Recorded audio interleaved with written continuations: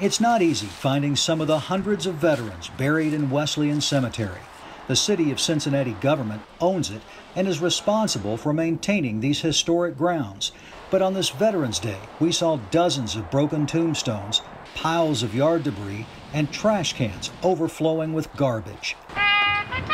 Just nine miles from the cemetery, more than 200 people honored veterans at a ceremony held at Green Township's Veterans Park. Oh, it's very special. Former Army Specialist Robert Alexander says he drove here from the Dayton area to be around other veterans to show his support for the ones who survived and those who didn't. Our country isn't perfect, but this is a wonderful country, and it's worth putting your life on the line for this country. The Green Township ceremony included two World War II veterans.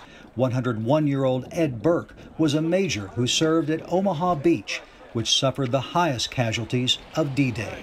It's difficult sometimes to talk about Omaha Beach. He talked instead about some of the great commanders in American history going back to the Revolutionary War. It's very important. There are Revolutionary War soldiers buried at Wesleyan Cemetery, along with so many others. The conditions there so disappointing to veterans here. Get this cleaned up.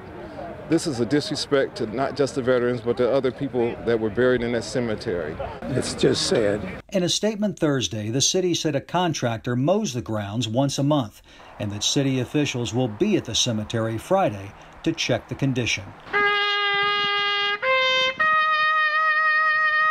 In Green Township, veterans celebrated a day dedicated to honoring those who served our nation during war and peace.